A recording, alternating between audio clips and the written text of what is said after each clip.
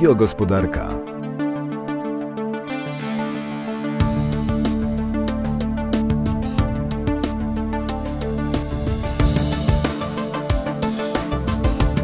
Powiat puławski obrał ścieżkę rozwoju opartą o inteligentne specjalizacje.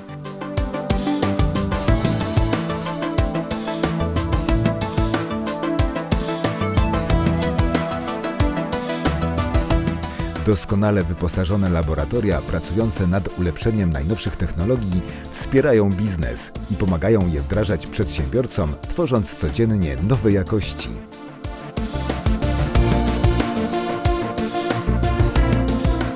Różnorodne dziedziny biogospodarki od wielu lat znakomicie funkcjonują w Puławach, stawiając region w czołówce symbiozy nauki z rolnictwem, przemysłem i biznesem.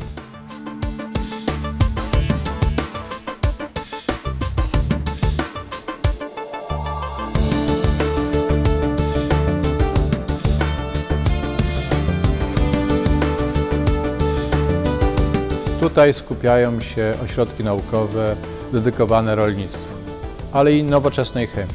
Przetwórstwo materiału roślinnego w nowoczesne środki bioaktywne jest taką techniką, która stawia Puławy na pierwszym miejscu w Polsce, a zastosowane techniki przyciągają partnerów zarówno z Unii Europejskiej, jak i z całego świata. Tworzenie lokalnych produktów przebiega w oparciu o tradycyjne receptury, wspierane przez nowoczesne rozwiązania, ułatwiające ten proces. Działalność szkółkarska jest przykładem łączenia tradycyjnych i nowoczesnych metod wytwórczych. Producenci drzew, krzewów ozdobnych i różanych dzięki swojemu wieloletniemu doświadczeniu wdrażać mogą nowoczesne rozwiązania.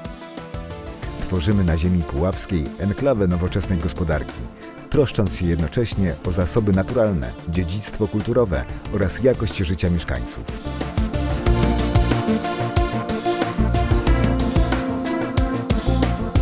W Puławach ma swoje siedziby pięć instytutów naukowo-badawczych, realizujących ważne dla kraju zadania z zakresu rolnictwa, weterynarii i zwalczania bioterroryzmu.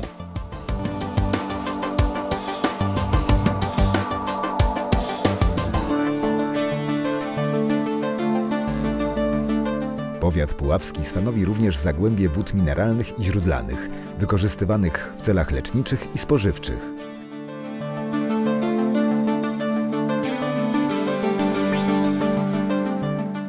Zielonego wymiaru powiatu nie zakłóca obecność przemysłu.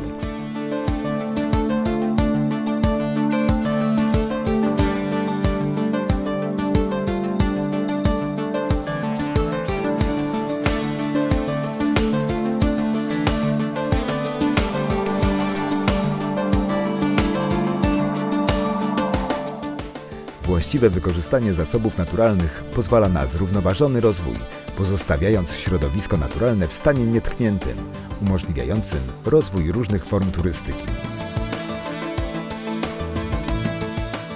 Grupa Azoty Zakłady Azotowe Puławy SA to nowoczesna firma zaangażowana społecznie i promująca region na całym świecie.